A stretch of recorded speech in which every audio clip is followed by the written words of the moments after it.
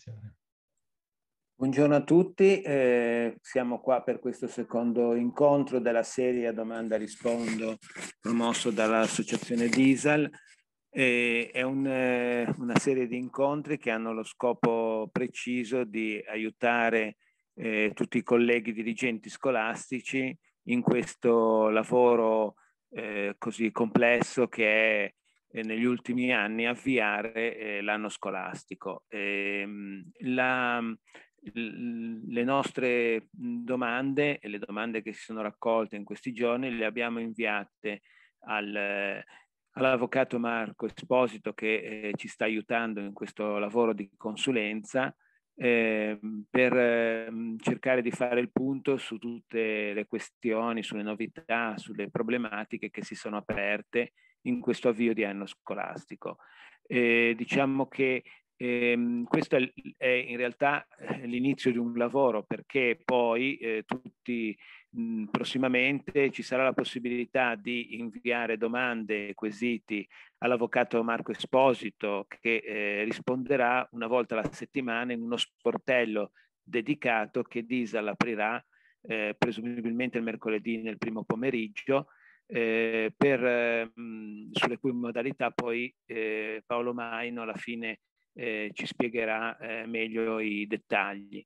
Eh, io volevo soltanto dire, prima di cedere la parola all'Avvocato Esposito, che ancora ringraziamo per la sua pre- preziosa collaborazione, che eh, tra il primo e il secondo incontro sono state avviate le lezioni in tutte le regioni o quasi.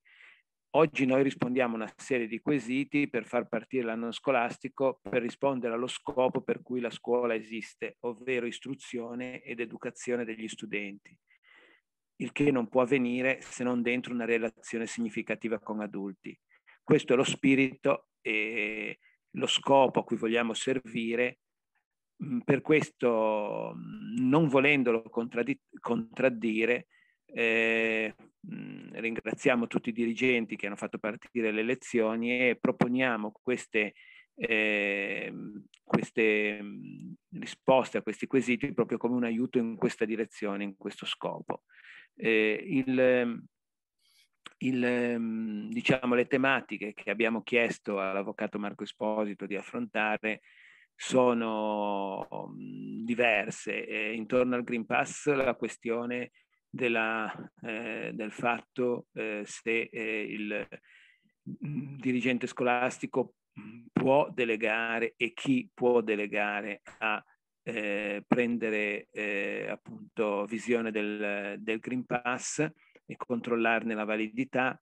Eh, quindi la questione se è necessario un, pub- un pubblico ufficiale, se c'è una contraddizione con un addetto al pubblico servizio eh, quindi una sintesi ragionata delle, ma- delle, materie di obbligo di Green Pass, eh, l'utilizzo degli spazi interni e esterni in relazione al Green Pass eh, e poi eh, alcune questioni eh, connesse come eh, è possibile oggi realizzare viaggi di istruzione e visite guidate, progettarle per l'anno scolastico 2021-22 e anche eh, le questioni che eh, riguardano poi la realizzazione dell'orario scolastico anche in relazione al fatto che in molti casi si è chiesto una, una diversa articolazione dell'entrata con distanziamento orario tra una prima e una seconda entrata, quindi è possibile eh, articolare l'orario prevedendo delle riduzioni dell'unità di orario di lezione nella prima e ultima ora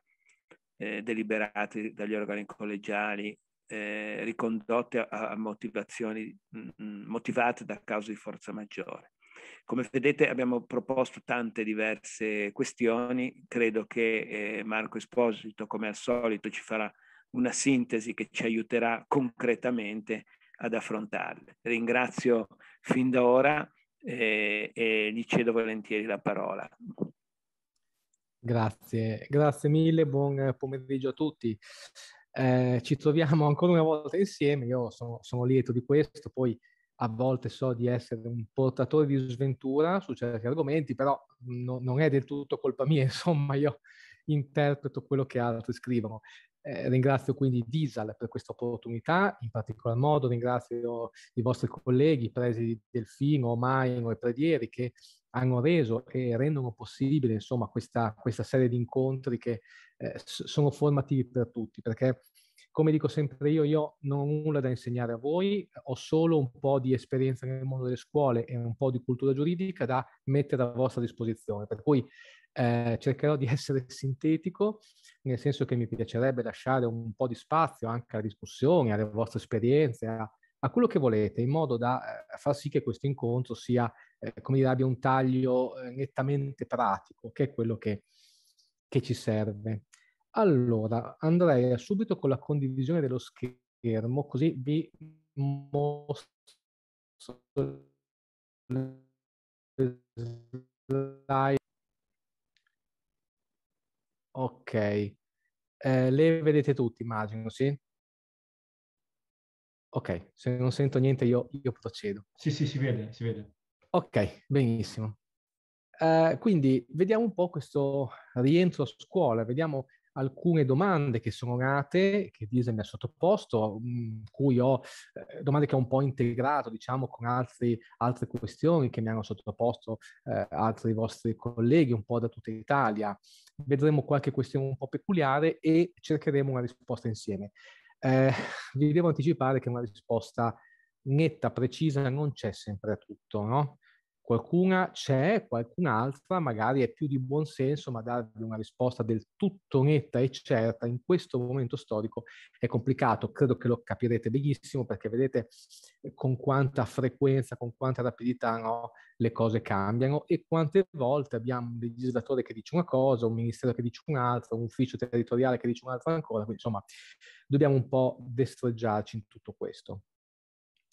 Allora, Uh, la prima cosa uh, che dobbiamo, che vediamo insieme oggi è um, la questione della riduzione dell'orario. Cioè la domanda fondamental- fondamentalmente è, ma possiamo uh, ridurre l'orario, no? attuare quindi una forma di flessibilità per cui l'ora non corrisponde più all'ora di lezione, eccetera? E se sì, in che maniera? E in particolar modo per quello che riguarda uh, l'entrata in ritardo, l'uscita in anticipo, quindi la prima e l'ultima ora.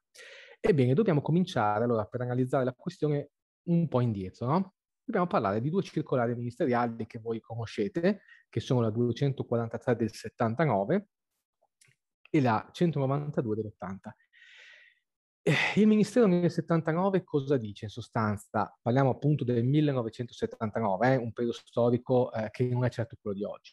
Dice che è possibile procedere a questo tipo di flessibilità oraria della prima e dell'ultima ora se ci sono appunto esigenze della scuola.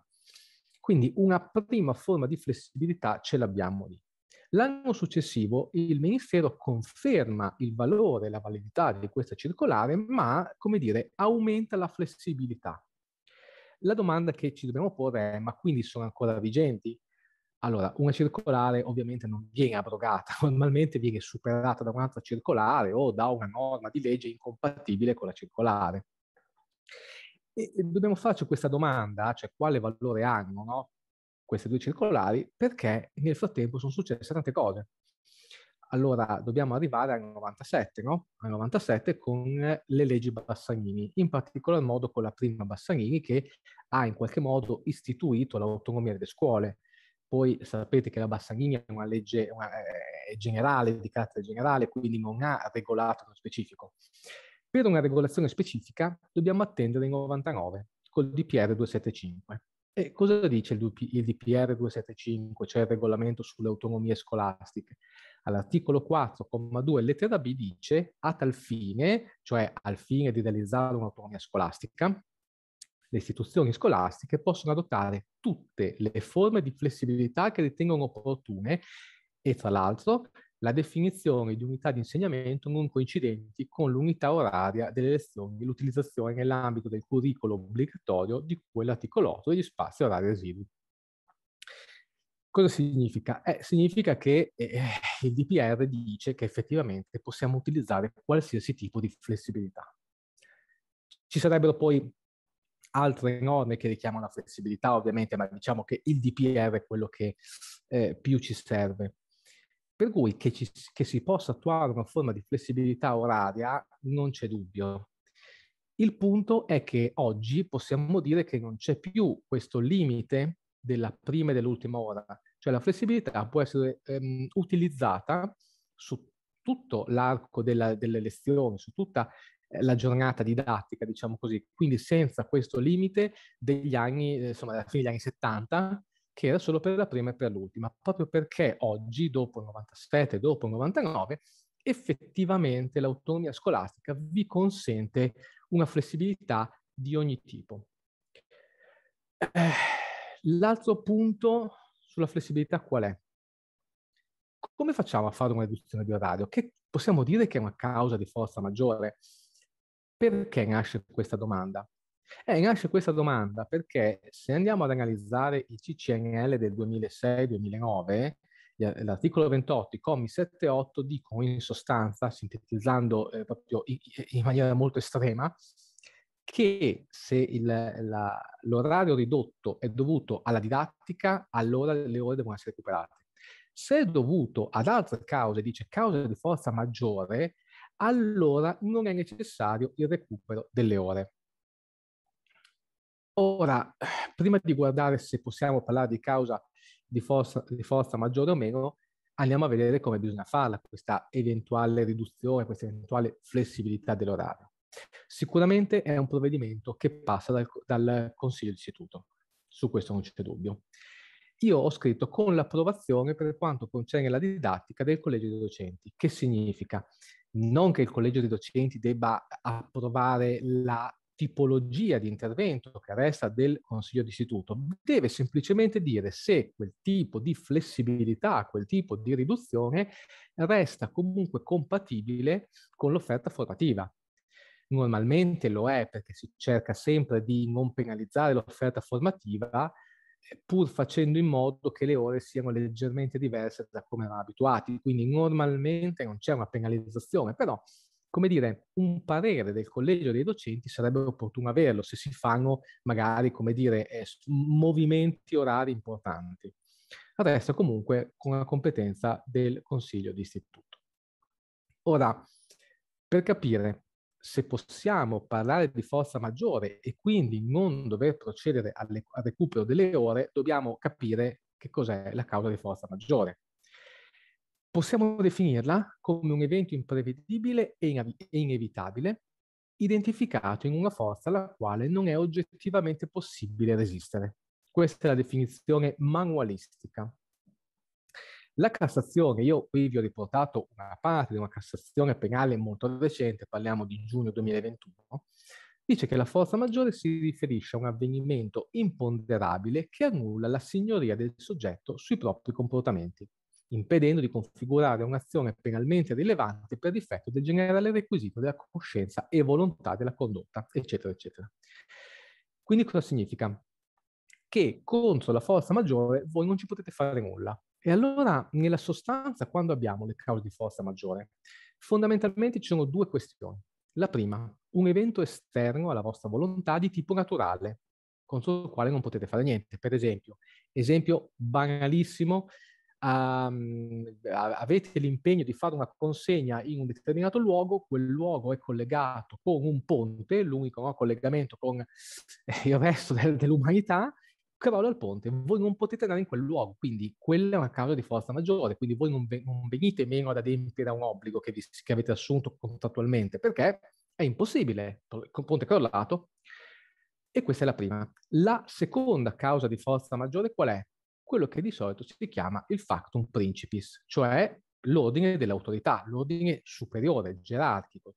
Esempio, io mi sono impegnato a costruire un tetto con l'Ethernet, esce la norma che impedisce l'utilizzo dell'Ethernet, eh, io non posso più usarlo, ma non sono venuto meno ai miei impegni contrattuali, è una causa di forza maggiore che prima non potevo sapere.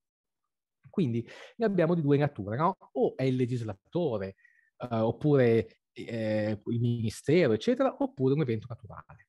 Ora, nella situazione pandemica in cui siamo, abbiamo sicuramente un evento naturale, che è la pandemia, non c'è dubbio.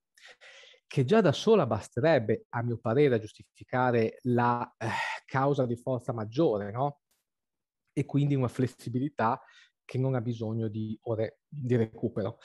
Ma se vogliamo andare oltre, noi abbiamo uh, tutti i DPCM e i DL che sono usciti da marzo 2020 a oggi, eh, i verbali del CTS, Uh, le circolari e le note ministeriali che dicono tutte la stessa cosa. Evitate gli assembramenti.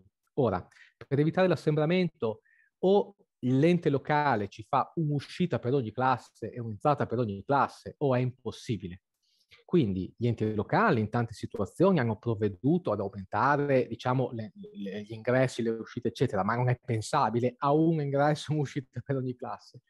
Di conseguenza L'unica alternativa per evitare assembramenti, quindi per garantire quello che la norma ci chiede di garantire, quindi diciamo una certa sicurezza sotto il punto di vista sanitario dei contagi, è quello di scaglionare gli ingressi e le uscite, non c'è altro.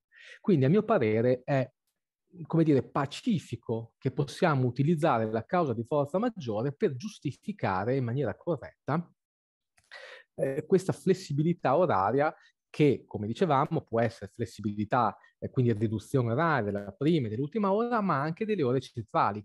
Le ore centrali, bene o male, hanno una valenza spesso inferiore, cioè è all'inizio e alla fine che ci interessa, ma se per un corretto co- coordinamento di tutti gli insegnamenti è necessario apporre dei ritocchi anche alle ore centrali della giornata, non è impossibile, una cosa che oggi, eh, dopo il DPR 275, possiamo mettere in campo. Passiamo poi a vedere le questioni del Green Pass e qui si apre veramente una, un mare infinito perché qui sul Green Pass ce ne sarebbe da dire per, per giorni, ma insomma io cerco di farvi un po' di sintesi. Uh, il Green Pass arriva in aprile, arriva in aprile col DL 52 che viene um, poi convertito in legge nel giugno, nel 17 giugno mi pare, 17 giugno sì, del 2021 ovviamente, ma um, come dire, non aveva l'aspetto che aveva oggi, nel senso che viene disciplinato sì il Green Pass, ma mancava una serie di cose. Una serie di cose che vengono inserite con ulteriori DL, e già qui è un'anomalia del sistema, perché eh, eh, DL che vanno a modificare DL non si erano mai visti, cioè normalmente la modifica un DL avviene con la legge di conversione, non con successivi DL. Comunque, insomma, um, il 6 di agosto esce il DL 111, che di fatto è quello che ha esteso l'obbligo del Green Pass nelle scuole. Scusate. Successivamente che cosa succede?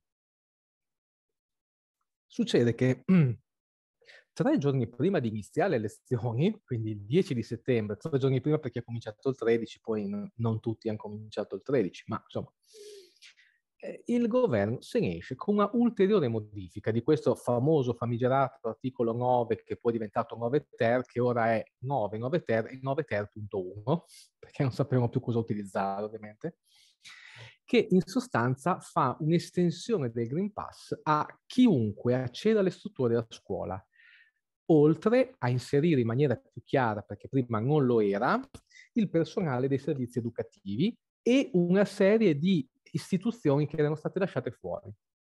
Quindi, sintetizzando, questo DL, questo articolo 52 del DL, ehm, scusate, questo articolo 9 ter del DL 52 2021, cosa dice oggi? Articolo 9 ter e 9 ter.1 ovviamente. Primo, obbligo di Green Pass per tutto il personale scolastico e dei servizi educativi. Quindi abbiamo, eh, prima lo 06 aveva creato qualche problema perché nella prima versione non compariva subito, compariva solamente nel secondo comma dove si dicevano altre cose. Quindi non si era capito se i servizi educativi erano ricompresi o meno. A oggi non abbiamo più dubbi. Più centri provinciali per l'istruzione degli adulti, più sistemi regionali di istruzione e formazione professionale, più sistemi regionali che realizzano i percorsi eh, di istruzione e formazione, eh, scusate, sì, percorsi di istruzione e formazione tecnica superiore più gli ITS e più tutti coloro che accedono alla scuola. Questo vuol dire che anche i genitori, anche i genitori che accompagnano i figli, se per qualche motivo devono entrare, devono avere il Green Pass. Uh, gli educatori delle cooperative o dei soggetti che gestiscono um, eh, prescuola, post scuola, piuttosto che i disabili, eccetera, accedono ai locali della scuola e non parliamo solo di scuola, appunto i locali utilizzati dalla scuola, quindi fosse anche un teatro, una palestra, cioè tutti i locali nella disponibilità della scuola, devono avere il Green Pass. Uh, I professionisti esterni, uh, gli operai del comune che vengono a fare dei lavori, chiunque deve avere il Green Pass. Qui da qui non se ne esce. E, e quindi capite che insomma la norma è, è abbastanza uh, importante da questo punto di vista perché comporta mh, mm, un'impossibilità di entrare chi non ha il Green Pass, con tutte le conseguenze che, che sappiamo. Dopo di questo parleremo ancora e parleremo anche dei controlli, che sono un altro problema. Cosa succede eh, per il mancato rispetto, cioè la presenza all'interno dell'istituzione scolastica di persone, chiunque esse siano, senza il Green Pass? Allora, se eh, parliamo di personale della scuola, quindi docenti per esempio, ATE, eccetera, sappiamo bene che la norma dice assenza ingiustificata. Assenza ingiustificata massimo per cinque volte puoi farla. Dopodiché te ne stai a casa, dopodiché sospensione senza retribuzione ovviamente fino a quando? O finché non fai il Green Pass o fino al 31-12. Perché il 31-12? Perché come sappiamo il 31-12 in teoria dovrebbe finire lo stato di emergenza, poi vedremo se è vero. Uh, sul punto era nato un problema, è nato un problema che il Ministero ha in qualche modo chiarito con una nota del 13 di agosto a, firma di Versari. Ehm, Versari è una, è una, persona che io conosco abbastanza bene perché immagino tutti sappiate che fino a un po' di tempo fa, cioè fin, prima di approdare al Ministero, intendo dire a Roma, era il direttore dell'ufficio regionale dell'Emilia Romagna e sono di Bologna, per cui insomma ci conosciamo in qualche modo. Insomma, di Versari si può pensare quello che si vuole, ma sicuramente è una persona che tecnicamente sa quello che scrive, una persona indubbiamente preparata e soprattutto è una persona che, ehm, come dire, non teme di ehm, eh, dire quello che pensa, non si nasconde dietro un dito. E infatti fa una... Eh, eh, Paolo, scusami, io vi, ho visto un messaggio in chat, però temo che se guardo la chat eh, si stacchi la condivisione.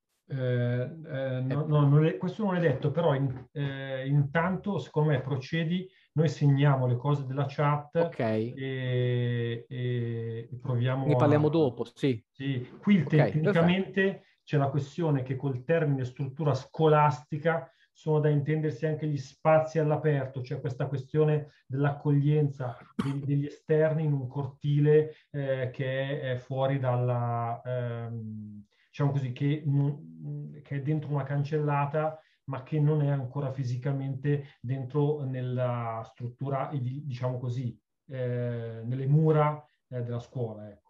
Okay, è... sì, sì, in realtà si parla di struttura scolastica quindi si, si, si sarebbe inteso eh, l'immobile, anche perché all'esterno il Green Pass non non è, necessario, l'importante è che non sia un assembramento, quindi in realtà sui, sui cortili, insomma, io sarei un pochino più elastico, ecco, non sarei elastico per qualsiasi eh, luogo chiuso, ecco, poi dopo mh, mm, è chiaro che le domande possiamo eh, vederle insieme. Ecco, vi dicevo da circolare la nota del Ministero che in sostanza va a dire questo eh, va a spiegare che tipo di assenza ingiustificata è, cioè di fronte a cosa ci troviamo. Perché è stato necessario precisare? È perché le assenze ingiustificate tecnicamente noi già le conoscevamo e le conoscevamo dal CCNL 2016-2018, per esempio, no? l'articolo 13,8 lettera E, per quello che riguarda eh, ovviamente il personale amministrativo, oppure per l'articolo 55 quater, comma 1, lettera B, per quello che riguarda i docenti, ovviamente del testo unico. Eh, però lì le sanzioni sono importanti, forse più importanti di questa, nel senso che parliamo di sospensioni fino a sei mesi o anche di licenziamento. La sospensione, dice il Ministero, in questo caso ehm, è una sospensione ehm, collegata a una legge speciale, quindi si applica questa sospensione, scusate, questa assenza ingiustificata si applica a questa norma che è speciale. Ora, che la norma 9 del 9 ter sia speciale non c'è dubbio, Perché? Perché è una norma a termine, cioè entro il 31-12, quindi le norme che hanno un tempo sono sempre considerate norme speciali. Essendo questa una norma speciale, può avere sua, un suo livello sanzionatorio speciale come è. Quindi credo che insomma, correttamente il Ministero abbia detto questa assenza ingiustificata non è quella che voi conoscete e eh, vi, vi, la norma vi dice anche quali sono le conseguenze come si configura ed effettivamente la norma questo lo spiega, quindi parla di cinque assenze ingiustificate successivamente alle quali scatta la sospensione fino a che non si fa il Green Pass o fino a che non termina lo stato emergenziale. Tutte queste disposizioni sono però inapplicabili a chi? A soggetti ovviamente non vaccinabili o esentati. No? La differenza è che i non vaccinabili tecnicamente sono quelle persone a cui il vaccino non si può dare per cause oggettive, cioè in questo momento i bambini inferiori a 12 anni, anche se eh, pare che fra un pochino supereremo questo scoglio eh, gli esentati sono coloro che non possono essere vaccinati in realtà per motivi soggettivi. Spesso il punto è eh, delle patologie, quindi comunque una questione di tipo medico-sanitaria. Da chi può essere eseguita la, l'esenzione? Medici vaccinatori, aziende sanitarie, medici di medicina generale e pediatri di libera scelta. Allora, su questo punto volevo dare un'occhiata con voi all'esenzione di contenuto, perché è chiaro che se uno vi presenta un'esenzione, voi dovreste sapere che contenuto ha, perché l'esenzione, se la facessero solo i medici vaccinatori, magari, insomma, bene o male, no, hanno un modello condiviso, ma potendola fare in tanti, eh, c'è caso che un medico la, ogni medico la faccia a suo modo e questo non va bene. Perché? Perché il Ministero della Salute ha detto quali sono i requisiti minimi.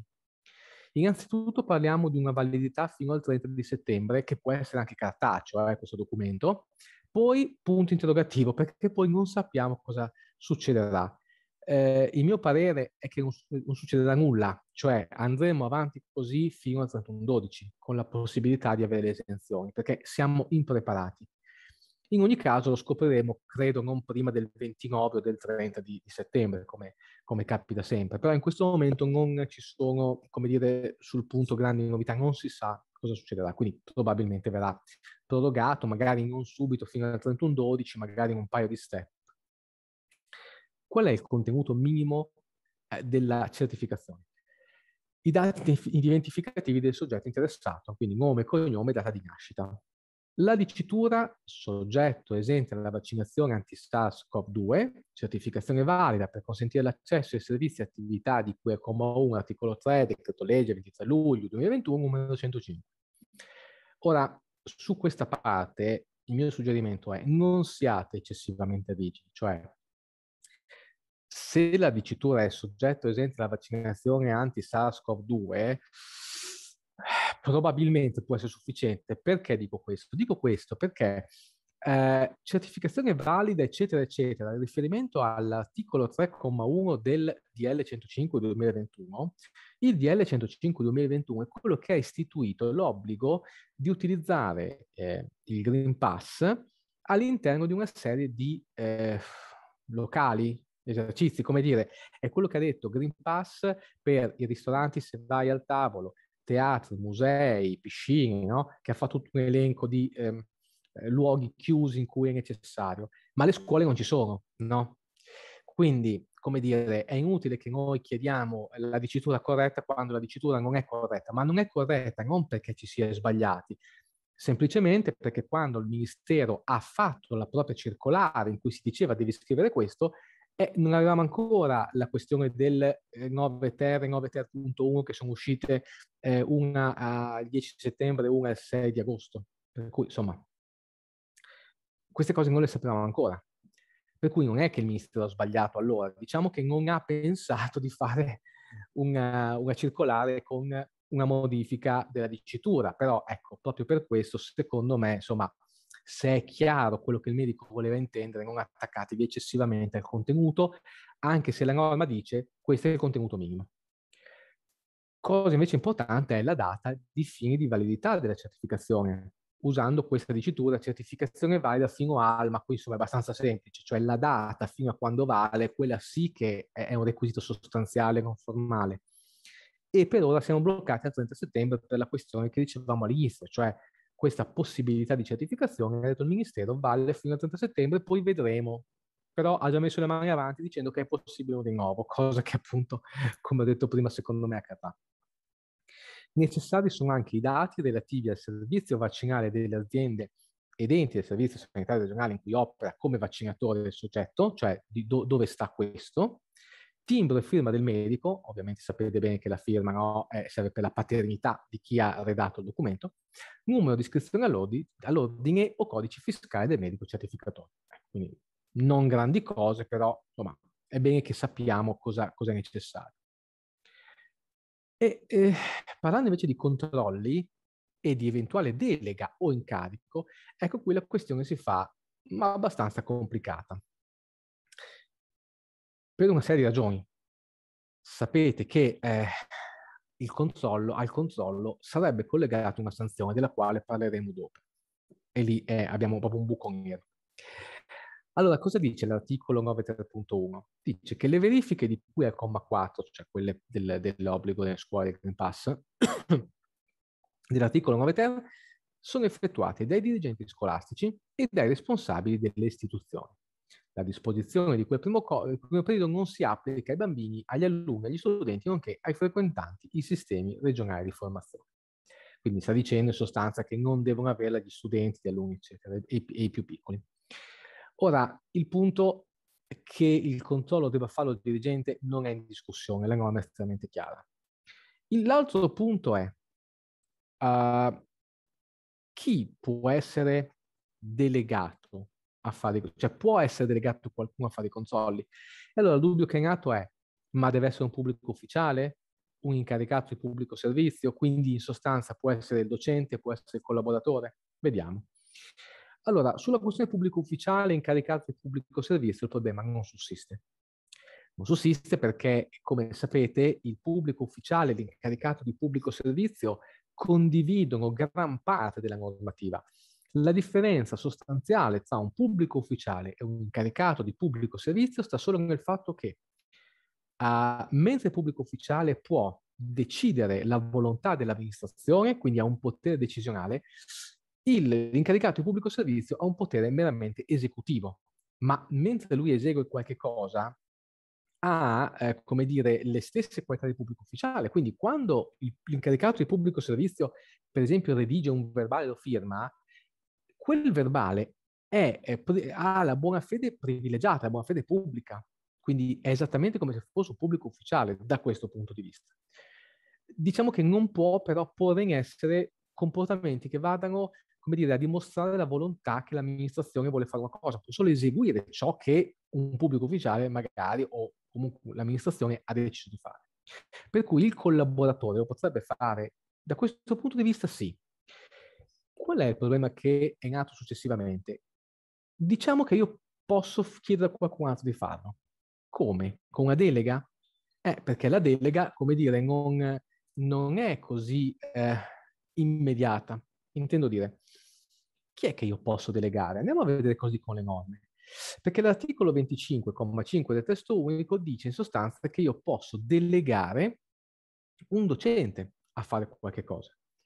Oppure l'articolo 17,1 bis, sempre del testo unico, che è riferito non al dirigente scolastico ma ai dirigenti in generale, dice che il dirigente può delegare un suo subordinato purché però sia in una posizione rilevante all'interno dell'amministrazione. Quindi il DSGA è in una posizione comunque apicale nel suo ruolo, per cui sicuramente sarebbe una persona, eh, come dire, delegabile. Dubbi sor- sorgono per il collaboratore, ma il problema in realtà non c'è perché. Perché in realtà si può pensare di fare un incarico, tanto che c'è un accordo sindacale di giugno nel quale sono stati messi dei soldi in sostanza dal Ministero per questa cosa e quindi diverse scuole stanno procedendo con gli incarichi ai, a, a, ai collaboratori o agli assistenti a seconda delle scuole, qualcuno lo fa con i docenti, qualche dirigente lo fa da solo. Perché qualche dirigente lo fa da solo? E qui veniamo all'altra questione. Perché il controllo che eh, bisogna fare cosa dice la, il Ministero? Dice potete farlo in due modi, mh, hm, che sono alternativi fra di loro, nel senso che non ce n'è uno meglio dell'altro, o meglio, si dice eh, il controllo lo fai con il SIDI, però è ammesso anche l'utilizzo dell'app Verifica C19, che è comunque un'app, eh, diciamo così, pubblica, cioè elaborata per conto sempre del Ministero. Per cui abbiamo due possibilità di controlli. Uh, tenete presente che i controlli che vengono fatti non vengono registrati, cioè non vengono registrati i dati dal sistema, intendo dire. Altro discorso è il registro che viene compilato a mano, ma questo è un altro discorso. Però il ehm, diciamo, sistema mh, informatico, che sia SIDI, che sia, uh, tra l'altro SIDI non importa perché non va a fare una verifica ma riceve dati, l'app C19 non registra, non invia nessuno questo controllo effettuato. Quindi non c'è una possibilità che il dato vada perso. In ogni caso, i, inform- i controllati devono essere informati circa il trattamento dei dati. Per essere controllati è sufficiente ehm, farlo apponendo la, l'informativa dentro la scuola, mandando una mail a, a tutti eh, i lavoratori della scuola per informare, attenzione, eh, voi non chiedete mai un consenso al trattamento, qui state informando sul trattamento che verrà fatto lo sapete bene perché quando voi eh, fate un trattamento di dato su, e questo trattamento viene richiesto dalla legge, eh, non c'è bisogno di nessun tipo di consenso, il trattamento va solo, c'è bisogno solo di un'informativa. Uh, qual è il problema adesso che è in atto e del, del quale parlavo prima eh, con eh, i vostri colleghi? È in atto il problema per il quale ehm, alcuni mi dicono che si funziona bene, altri invece mi raccontano che non funziona bene perché? perché non è aggiornato, nel senso che l'aggiornamento non avviene costantemente e invece dovrebbe essere un aggiornamento costante. Perché dico questo? Perché diciamo che questo tipo di aggiornamento viene fatto alle 7 del mattino. Viene fatto alle 7 del mattino, ma eh, un docente è andato a fare, siccome ha lezione alle 9, è andato in farmacia alle 8 a fare un tampone. Per cui lui, eh, il dato al sistema nazionale di GC va immediatamente, quindi lui fa il tampone alle 8, alle 8 e eh, 11 minuti, insomma i 10 minuti classici che servono per vedere se è positivo o meno, un minuto dopo il dato è presso la piattaforma nazionale di GC. Ma se SIDI non eh, va a prendere questo dato in quel momento e ha quello delle ore 7, eh, lui risulta che magari non, è, non ha il Green Pass, e questo è il primo problema, quindi sicuramente vale la pena no? quando eh, eh arriva il docente che su SIDI non risulta avere il Green Pass, magari provare a chiedere ma posso fare una verifica con C19? Ecco, fate una verifica, se lui dice eh, ce l'ho qui, ecco, scansionate, vedete, perché probabilmente può essere una di queste situazioni.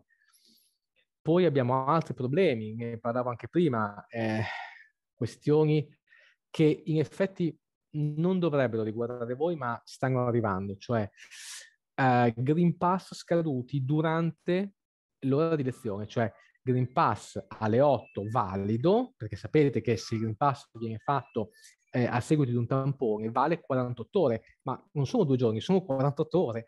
Quindi se io l'ho fatto a, a, alle 9 di mattina di due giorni fa, mi scade dopo due giorni, ma alle 9 di mattina. Per cui io entro a scuola alle 8 quella mattina ed è valido, ma alle 9 non vale più allora è vero che voi non avete un obbligo di verificare continuamente, certo, però vi segnalo che, perché poi il mondo è bello perché è vario, in alcune eh, situazioni, in alcune scuole, è successo che qualche docente di fatto si autodenunciasse pur di creare un problema al dirigente facendo il classico filmato da condividere sui social, no? perché ormai va tutto lì, quindi di fatto ha detto io sono a scuola, il Green Pass è scaduto eppure sono qua, guardate.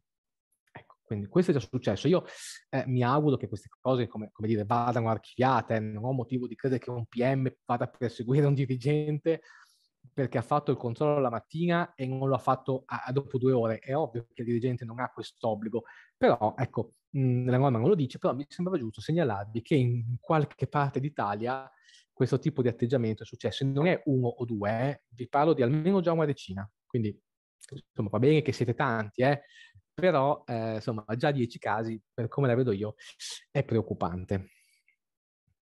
Vediamo rapidamente il protocollo d'intesa.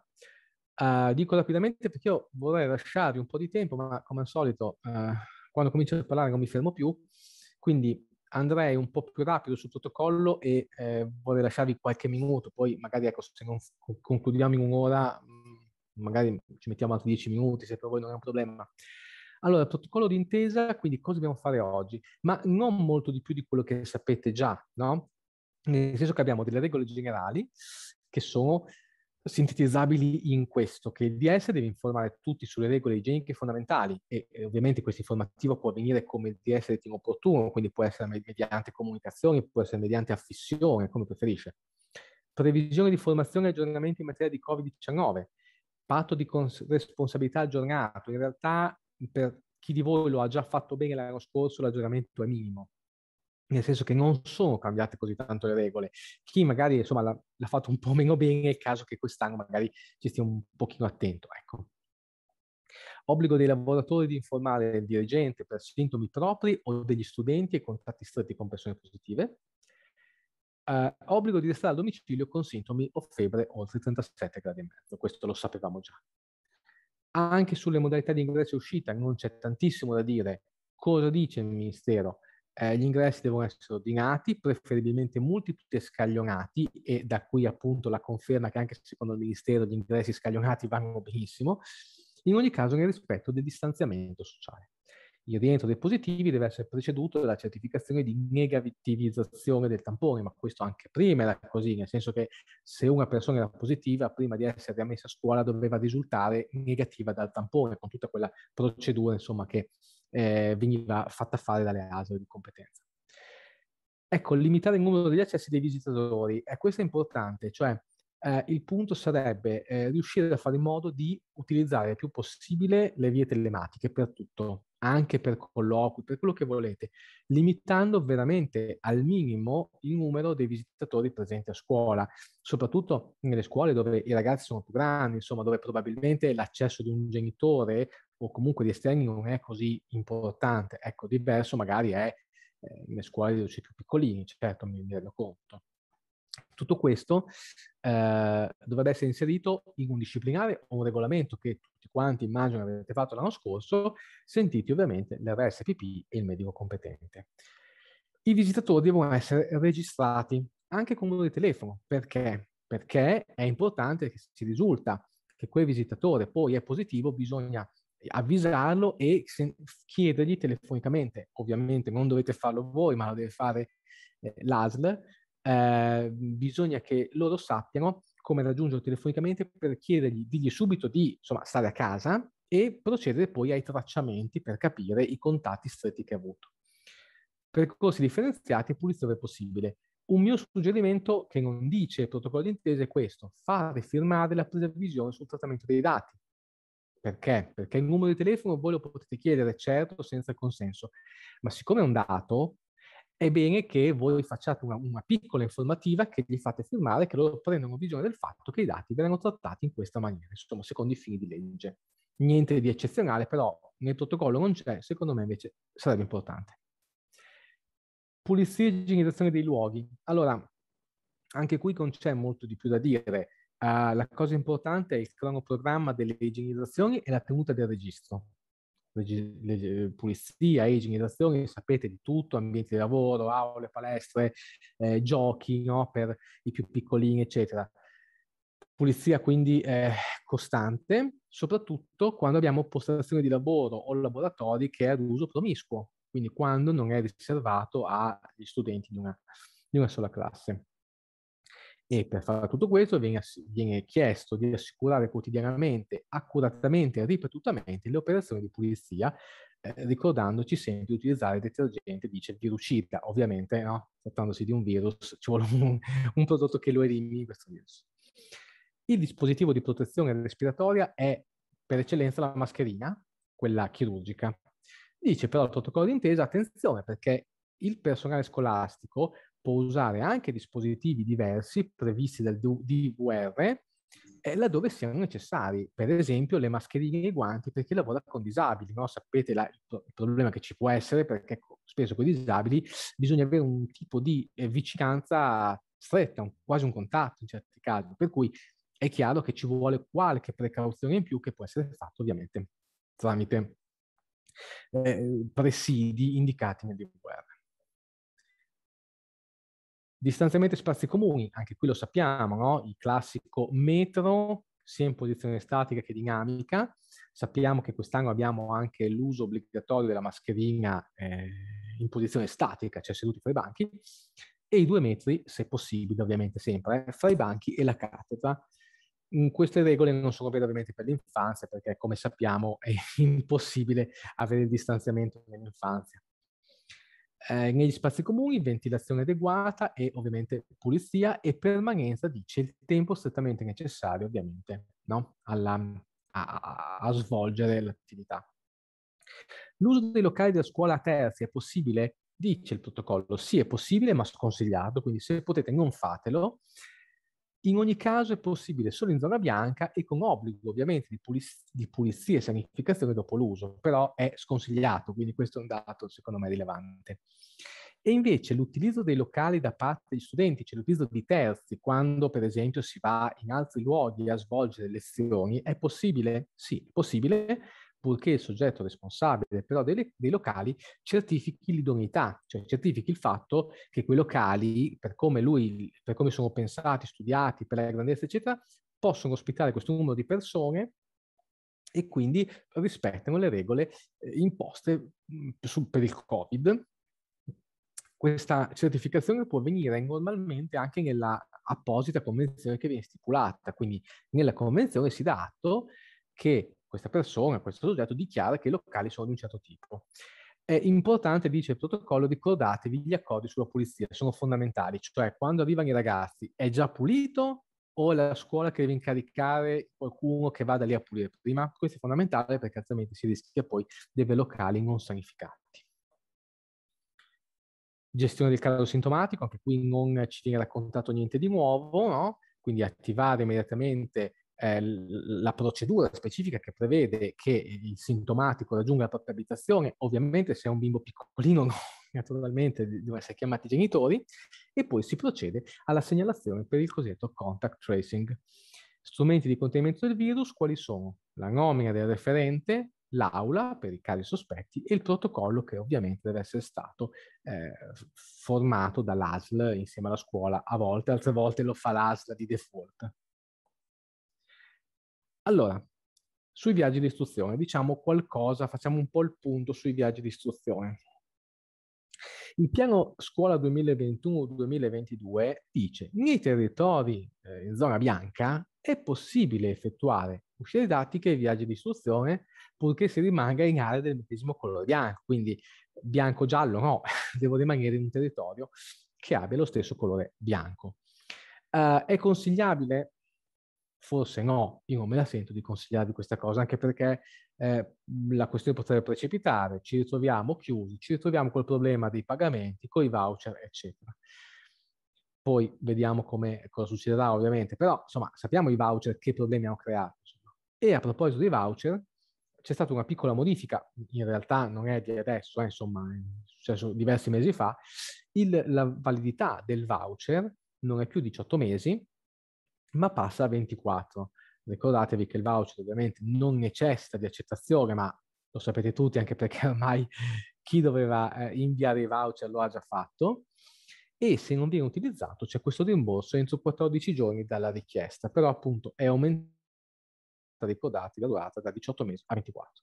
È stata inserita anche una possibilità che io non vedo, come dire, particolarmente attuabile, però insomma c'è, cioè la possibilità di cedere il voucher alla stessa agenzia di viaggi se c'è ovviamente accordo di tutte le parti, no? di tutti i soggetti. Questo può funzionare solo dove l'agenzia di viaggi in realtà ha già qualcun altro a cui piazzare quel viaggio, allora potrebbe convenire a tutti.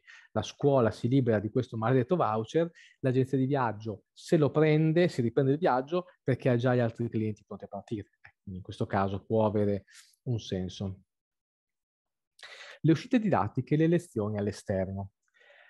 Allora, innanzitutto bisogna riprendere la circolare dell'ottobre 2020 per capire cosa si intende per uscita didattica. Si intendono ordinarie attività didattiche organizzate dalle singole istituzioni scolastiche in spazi alternativi, ubicati all'esterno degli edifici scolastici, allo scopo di tradurre le indicazioni volte a prevenire e contenere la diffusione del contagio con l'individuazione di ulteriori aree atte a favorire il distanziamento fisico in contesti di azioni diverse de- da quelle usuali. Cioè, in sostanza si dice, se volete fare lezioni all'esterno, in spazi esterni, non c'è nessun problema. Quindi uscite didattiche, benissimo. Se l'uscita didattica viene fatta in spazi chiusi, musei, teatri, eccetera, è possibile? Allora, è possibile sì, però con il rispetto delle norme che abbiamo oggi sul Green Pass. Cioè, se per entrare al museo io devo avere il Green Pass, lo studente di 12, ultra dodicenne, quindi oltre 12 anni, che a scuola non ha l'obbligo del Green Pass, lo deve avere per entrare al museo o al teatro, dovunque sia. Quindi questa è una grande differenza, cioè eh, eh, lo studente di 14 anni che non vuole vaccinarsi va tranquillamente a scuola e non ha questo problema. Il problema ce l'ha se si fa l'uscita esterna e si va in un museo, in un teatro, eccetera. In quel caso o ha il Green Pass o non ci va. Quindi Green Pass intendo vaccinazione o tampone, eh? va benissimo anche se si fa il tampone e per 48 ore può girare, certo. Però non perché è uno studente, allora non deve averlo per entrare in altri luoghi, non gli serve per entrare nella sua scuola.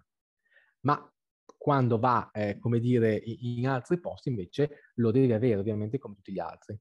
E infatti ehm, dice la norma che le disposizioni di cui è comune non si applicano ai soggetti esclusi per età dalla campagna vaccinale e ai soggetti esenta, esenti sulla base di idonea certificazione. La norma citata 9 bis è quella appunto che dice dove è necessario il Green Pass, quindi solo gli esclusi per età, per cui chi ha più di 12 anni che non è escluso e potrebbe vaccinarsi non è esentato per il fatto, diciamo così, di essere uno studente. Ecco, io ce l'ho fatta terminare entro l'ora, cercando di lasciare un po' di spazio per fare due domande, perché eh, intanto tolgo la condivisione.